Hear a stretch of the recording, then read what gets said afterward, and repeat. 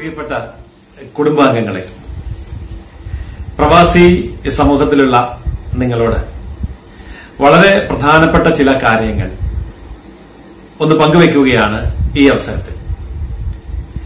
ലോകമെങ്ങും corona പടരുമ്പോൾ Covid നയന്റീന്റെ ഭീകരതയിൽ നമ്മൾ വലയം ചെയ്യുമ്പോൾ പ്രത്യേകം ശ്രദ്ധിക്കേണ്ട ചില കാര്യങ്ങളെ സംബന്ധിച്ചാണ് ഇപ്പോൾ ഞാൻ നിങ്ങളെ ഓർമ്മിപ്പിക്കുന്നത്.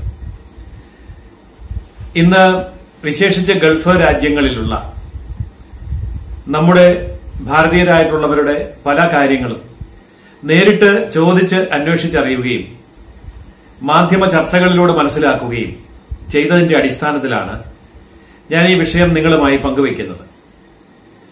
ഈ അവസരത്തിൽ എന്നല്ല ഏതവസരത്തിലാണെങ്കിലും ഒരാപത്ത് നമ്മളെ സമീപിക്കുമ്പോൾ നമ്മൾ നിസ്സഹായരാണ് എന്ന തോന്നൽ ഉണ്ടാകുമ്പോൾ ഒരു മനുഷ്യജീവിയുടെയും മൃഗത്തിന്റെയും മനസ്സിൽ വരുന്നത് ഒരേ ചിന്തയാണ്.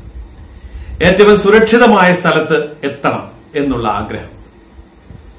നമ്മൾ മുതിർന്നവരാണെങ്കിലും കുട്ടികളാണെങ്കിലും പെട്ടെന്ന് എന്തെങ്കിലും ഒരു ആപത്ത് വരുമ്പോൾ അറിയാതെ പറഞ്ഞു പോകുന്ന ഒരു വാക്കുണ്ട് അമ്മേ എന്ന്. അതിന്റെ അർത്ഥം അഭയം എന്നാണ്. കാരണം അമ്മയിൽ നിന്നാണല്ലോ നാം പുറപ്പെട്ടത്. അതുകൊണ്ട് അഭയസ്ഥാനം അത് തന്നെയാണ്. മാതൃഭൂമി എന്ന് പറയുന്ന നമ്മുടെ ഭാരതത്തിലേക്ക് മടങ്ങി വരണമെന്ന് ഏതൊരു ഭാരതീയനും കൊതിക്കുന്ന ആഗ്രഹിക്കുന്ന നിമിഷങ്ങളാണിത് എന്ന് എനിക്ക് നന്നായി അറിയാം. കാരണം ഞാൻ ലോകത്തിന്റെ വിവിധ ഭാഗങ്ങളിലുള്ളവരുമായിട്ട് ഈ വിഷയത്തെ സംബന്ധിച്ച് സംസാരിച്ചുകൊണ്ടിരിക്കുകയാണ്. എന്നാൽ വൈകാരികമായ ഒരു തീരുമാനം കൊണ്ടും ഒന്നും നേടാൻ കഴിയാത്ത സന്ദർഭമാണ് ഇത് എന്ന് ഞാൻ ഓർമ്മിപ്പിക്കട്ടെ. അതിലേറ്റവും പ്രധാനപ്പെട്ട കാര്യം എനിക്ക് നിങ്ങളോട് പങ്കുവയ്ക്കാനുള്ളത് രാജ്യത്തേക്ക് തിരിച്ചു വരിക എന്നുള്ള ആഗ്രഹം എത്രമാത്രം പ്രായോഗികമാണ് എന്നൊന്ന് ചിന്തിക്കണം എന്നാണ്. നമ്മോട് നമ്മുടെ പ്രധാനമന്ത്രി പറഞ്ഞു ഇപ്പോൾ നിങ്ങൾ എവിടെയാണോ ഉള്ളത് അവിടെ ആയിരിക്കുക. ലോകത്തെ എല്ലാ പ്രധാനമന്ത്രിമാരും പ്രസിഡന്റുമാരും തങ്ങളുടെ പ്രജകളോട് പറഞ്ഞത് അത് തന്നെയാണ്. ഇന്നിപ്പോൾ നമ്മുടെ ഗൾഫ് രാജ്യങ്ങളുടെ ഒരു കണക്ക് ഞാൻ പരിശോധിക്കുകയുണ്ടായി. അറിയപ്പെടുന്ന ആറ് ഗൾഫ് രാജ്യങ്ങളും അതിനു ചുറ്റുമുള്ള Iran Iraq Egypt Saudi Arabia Sudan അടക്കമുള്ള രാജ്യങ്ങളും കൂടി മാത്രം പരിഗണിച്ചാൽ പോലും ഏതാണ്ട് ഒന്നേകാൽ കോടി ഭാരതീയർ അവിടെയുണ്ട്. അതിന്റെ മൂന്നിലൊന്ന് കേരളീയരും ഉണ്ട്. ഈ ഒന്നേകാൽ കോടി ഭാരതീയരെ നമുക്ക് ഭാരതത്തിലേക്ക് വിമാനമാർഗം കൊണ്ടുവരണം എങ്കിൽ ഏതാണ്ട് ഒരു ലക്ഷം വിമാനങ്ങൾ വേണം ഒറ്റയടിക്ക് കൊണ്ടുവരണമെങ്കിൽ. അത്രയും വിമാനങ്ങൾ ലോകത്തില്ല. ഇനി അതല്ല ഘട്ടം ഘട്ടമായിട്ട് കൊണ്ടുവന്നാൽ മതിയെങ്കിൽ. വിമാനമാർഗം ഈ ഒന്നേകാൽ കോടി ജനങ്ങൾ അവിടെ നിന്ന് ഇന്ത്യയിൽ എത്തുമ്പോഴേക്കും ഏതാണ്ട് മൂന്ന് വർഷക്കാലം എടുക്കും. ഇത് രണ്ടും അസാധ്യമാണ് എന്നുള്ളതാണ് സത്യം. ഇനി അഥവാ അത് സാധിച്ചു വന്നിരിക്കട്ടെ. ഏറ്റവും അപകടകരമായ ഒരു കാര്യമാണ് വിമാനയാത്ര. ഇന്ത്യൻ പാർലമെന്റിൽ നരേന്ദ്രമോദിയുടെ മുമ്പിൽ ഇരുന്നിരുന്ന കേരളത്തിൽ നിന്നുള്ള ഇരുപത്തിയൊൻപത് എം പിമാർ. പാർലമെന്റ് സമ്മേളനം കഴിഞ്ഞ് കേരളത്തിലേക്ക് ഫ്ളൈറ്റിൽ വന്ന് ഇറങ്ങുമ്പോൾ പ്രധാനമന്ത്രിയുടെ ഉത്തരവ് പിന്നാലെ വന്നു. എല്ലാ എം പിമാരും പതിനാല് ദിവസം നിർബന്ധിതമായും ക്വാറന്റൈനിൽ പോകണം. ഏകാന്തവാസത്തിലേക്ക് പോകണം. വിമാനത്താവളത്തിൽ നിന്ന് അവർ നേരെ നിരീക്ഷണ കേന്ദ്രങ്ങളിലേക്ക് പോവുകയാണ് ഉണ്ടായത്. ഇന്ത്യയിലെ എം പിമാർ അതിൽ പകുതി മുൻ കേന്ദ്രമന്ത്രിമാർ പ്രധാനമന്ത്രിയോടൊപ്പം പാർലമെന്റിൽ ഇരുന്നവർ മറ്റൊരു തെറ്റും ചെയ്യാത്തവർ. പക്ഷേ വിമാനത്തിൽ ഡൽഹിയിൽ നിന്ന് മൂന്ന് മണിക്കൂർ തിരുവനന്തപുരം കൊച്ചി കോഴിക്കോട് വരെ യാത്ര ചെയ്തു എന്ന ഒറ്റ കാരണം കൊണ്ട്. അവർ എം പിമാരായിരുന്നിട്ട് പോലും ഏകാന്തവാസം അനുഭവിക്കേണ്ടി വന്നു. ഞാനിത് സൂചിപ്പിക്കുന്നത് അതിന്റെ ഗൗരവം നമ്മൾ ഉൾക്കൊള്ളണം എന്നുള്ളത് കൊണ്ടാണ്. അതായത് അടച്ചിടപ്പെട്ട ഒരു മുറിയിൽ എ സി ചെയ്യപ്പെട്ട ഒരു ക്യാബിനാണല്ലോ വിമാനം എന്നുള്ളത്. അതിൽ കയറുന്ന മുഴുവൻ പേരെയും പരിശോധിച്ചു. അവർക്ക് ആർക്കും രോഗമില്ല എന്ന് ബോധ്യമായിട്ടാണ് യാത്ര ചെയ്യുന്നത് എങ്കിൽ പോലും ആരോഗ്യാവസ്ഥയിൽ ഇൻക്യുബേഷനിലൂടെ കടന്നുവരുന്ന ഒരു മനുഷ്യൻ. ആ വ്യക്തിയുടെ ശരീരത്തിൽ ഈ വൈറസ് ഉണ്ട് എങ്കിൽ പരീക്ഷണങ്ങൾക്ക് കണ്ടുപിടിക്കാൻ കഴിയില്ല.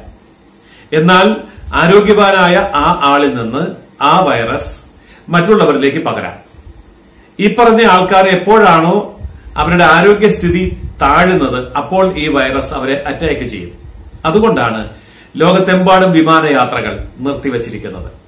അതുകൊണ്ട് വിമാനയാത്ര രോഗമില്ലാത്തവർക്ക് പോലും സുരക്ഷിതമല്ല എന്ന സത്യം നമ്മൾ തിരിച്ചറിയാം അപ്പോൾ എന്താണ് ഇനി നമ്മൾ ശ്രദ്ധിക്കേണ്ടത്?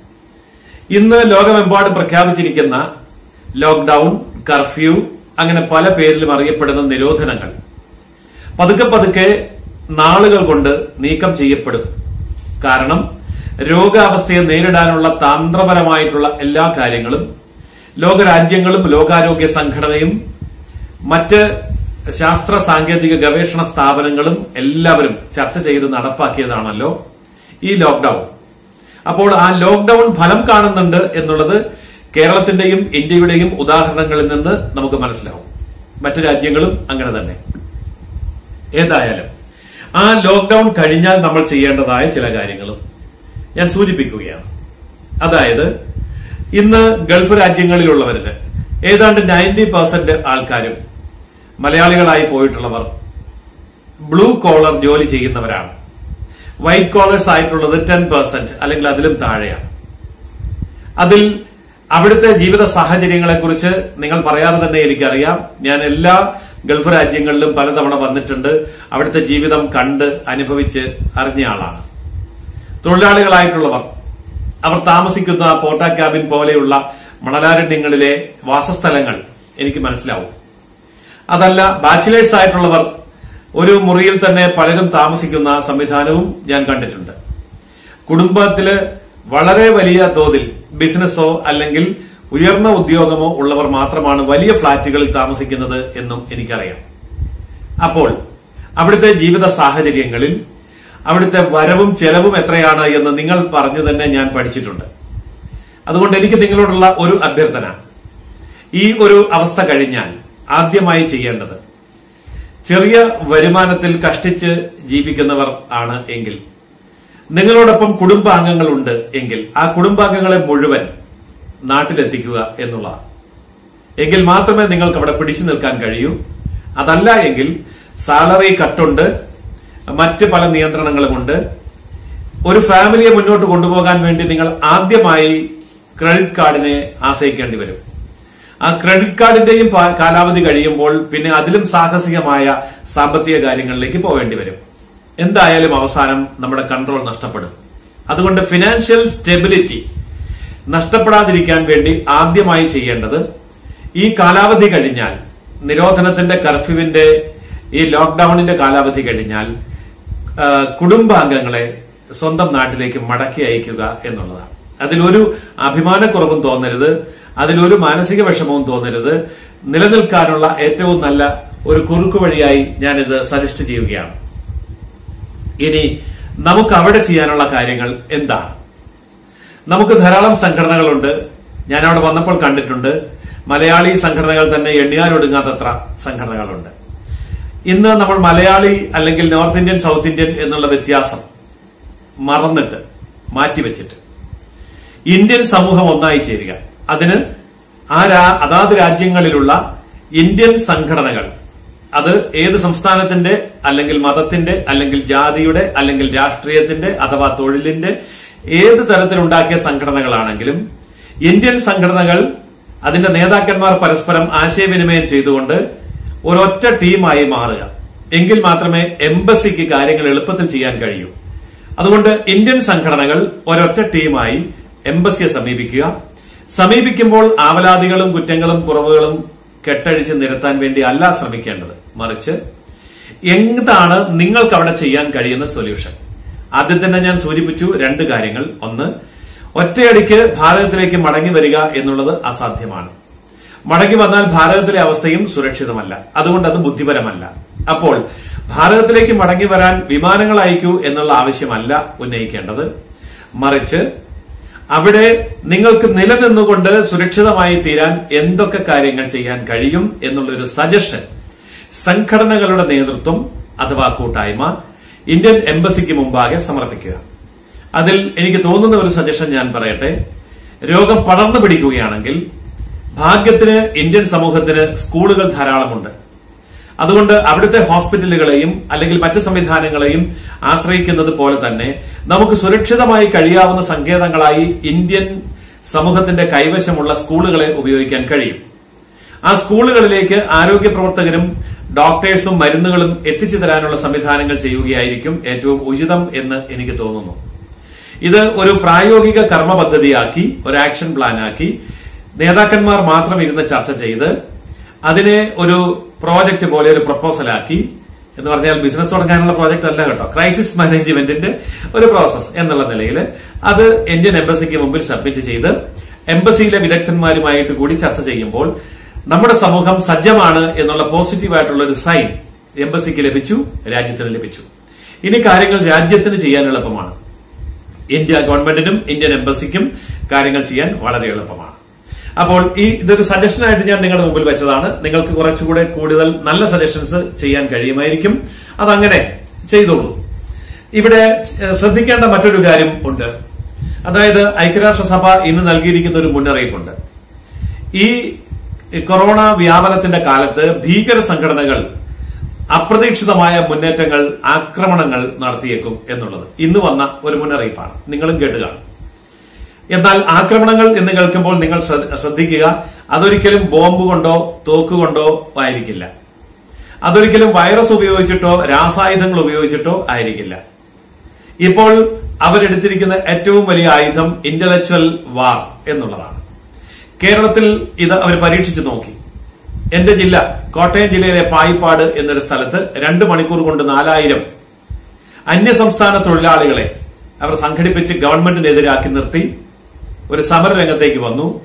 അവസാനം പോലീസും സംവിധാനങ്ങളും ശക്തമായി ഇടപെടേണ്ടി വന്നു. അവരെ തിരിച്ച് വാസസ്ഥലങ്ങളിലേക്ക് വിടാൻ. തെറ്റായിട്ടുള്ളൊരു വാർത്ത പ്രചരിപ്പിച്ചുകൊണ്ടായിരുന്നു ഇത്. ഇതുപോലെ തെറ്റായിട്ടുള്ള വാർത്തകൾ ഭീകരമായിട്ടുള്ള ആശങ്കകൾ സംശയങ്ങൾ ഇതൊക്കെ തന്നെ അഴിച്ചുവിട്ടുകൊണ്ട് ഈ അവസരത്തിൽ പ്രവാസി സമൂഹത്തിനിടയിൽ ആശങ്കകൾ ഉണ്ടാക്കാനും അവരുടെ ആരോഗ്യം മാനസികാരോഗ്യവും ശാരീരികാരോഗ്യവും തകർക്കാനും ഐക്യം ഇല്ലാതാക്കാനും ഓരോ പ്രവാസി സമൂഹത്തിനും അവരവരുടെ ഗവൺമെന്റുകൾക്ക് എതിരായിട്ട് തിരിക്കാനും ഭീകരപ്രവർത്തകർക്ക് ആശയപ്രചരണം നടത്താനും ഒക്കെയുള്ള അവസരമായിട്ട് ഇതിനെ ഉപയോഗിക്കും എന്നാണ് ഐക്യരാഷ്ട്ര സഭ ഇന്ന് നൽകിയിരിക്കുന്ന മുന്നറിയിപ്പ്. അതുകൊണ്ട് പ്രവാസി സമൂഹത്തിൽ ഏറ്റവും ശ്രദ്ധയോടെ ഇരിക്കേണ്ടത് വ്യാജ പ്രചരണങ്ങൾ ആശങ്കകൾ ഉണർത്തുന്ന പേടിപ്പെടുത്തുന്ന സന്ദേശങ്ങൾ ചർച്ചകൾ ഇവയ്ക്ക് ചെവി കൊടുക്കാതിരിക്കുക എന്നുള്ളതാണ്. നമ്മുടെ സംഘടനാ നേതാക്കന്മാരുമായി ചർച്ച ചെയ്തുകൊണ്ട് സംഘടനാ നേതൃത്വം എംബസി വഴി നമ്മുടെ രാജ്യ തലസ്ഥാനവുമായി ബന്ധപ്പെട്ടെടുക്കുന്ന തീരുമാനങ്ങളെ അനുസരിക്കുക.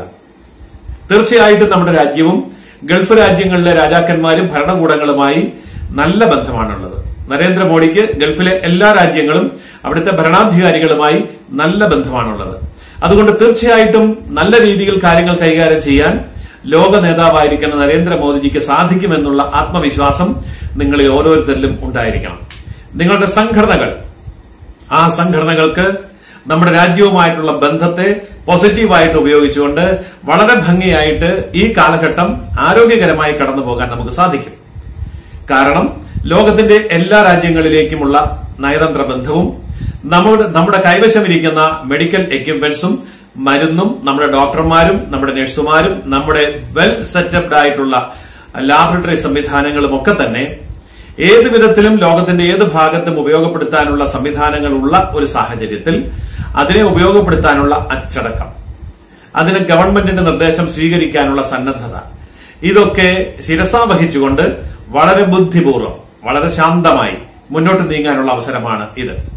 മരുന്നിന്റെയും ഭക്ഷണത്തിന്റെയും കാര്യത്തിലുള്ള ആശങ്കകൾ നിങ്ങൾ ഇനി ഉയർത്തുന്നതിന് മുമ്പ് തന്നെ നമുക്ക് മനസ്സിലാവുന്നുണ്ട്. ഗവൺമെന്റിന്റെ പക്കൽ ആ ആശങ്കകൾ എത്തിയിട്ടുണ്ട്. അതുകൊണ്ട് മരുന്നിനെയും ഭക്ഷണത്തെയും സംബന്ധിച്ചിട്ടുള്ള ആശങ്കകൾ വേണ്ട. രണ്ടാമത്തെ ആശങ്ക സാമ്പത്തികം. താമസിച്ചുകൊണ്ടിരിക്കുന്ന വീടിന് വാടക കൊടുക്കാനുള്ള സാമ്പത്തില്ലല്ലോ വരുമാനം നിലച്ചല്ലോ അല്ലെങ്കിൽ കട്ട് ചെയ്യപ്പെടാൻ സാധ്യതയുണ്ടല്ലോ സാലറി നാളെ എങ്ങനെ ആകും ഈ ഭയാശങ്കകളും വേണ്ട. കാരണം ഈ ഭയാശങ്കകൾ ലോകത്തെ എല്ലാ രാജ്യങ്ങളും അമേരിക്ക മുതൽ ജപ്പാൻ വരെ നേരിട്ടുകൊണ്ടിരിക്കുന്ന വിഷയമാണ്. ഇക്കാര്യത്തിൽ സാമ്പത്തികമായിട്ടുള്ള ക്രമീകരണങ്ങൾ ഓരോ രാജ്യങ്ങളും പ്രഖ്യാപിച്ചുകൊണ്ടിരിക്കുകയാണ്. നിങ്ങൾ ഇപ്പോൾ താമസിക്കുന്ന രാജ്യത്ത് ഇന്നല്ലെങ്കിൽ നാളെ അത്തരം പ്രഖ്യാപനങ്ങൾ വരും. സാമ്പത്തികമായിട്ടുള്ള രംഗത്ത് ആശങ്കകൾ ഇനി അടിസ്ഥാനരഹിതമാണ്.